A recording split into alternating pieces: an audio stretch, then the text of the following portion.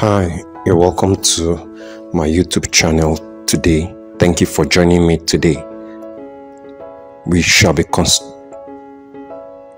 we shall be considering the construction of a pentagon in a given circle. So, the first set of things that we're going to do is to draw a line and mark a point A. So, after marking this point A, we'll get a suitable radius. Then describe a point B. So, with this line AB, we'll get the midpoint by bisecting the line AB. So now after describing the point, we now draw the perpendicular line to the line AB so that we can be able to get the point O. So we'll label the point O, which is the midpoint between A and B. So from this point, we'll pick our compass, then we set the center of our circle on O.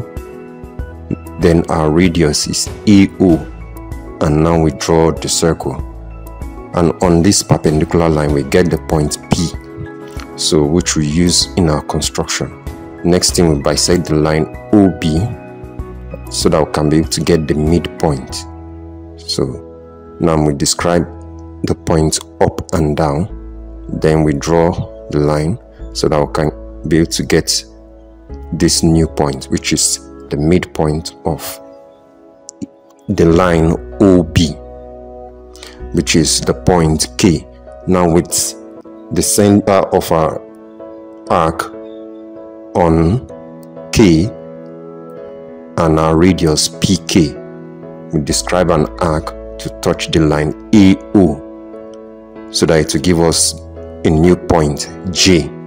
So after getting this new point J with our center on P on radius PJ, we now describe an arc so that it will touch the circumference of the circle. So now the point where it touches the circumference of the circle is T. So the distance PT will be the length of the side of our pentagon. So with the center on P, we describe another point on the right hand side of this circumference, which will give us U. Then from there, you again will describe another point on the circumference, which is going to give us V. Then move to the point T with that same radius we describe on the circumference to give us W. So we now have the pentagon P T U V W. So now the next thing is to draw the lines that will touch from P to T, P to U, U to V, V to W, W to T, which is our given pentagon. Thank you for watching this tutorial.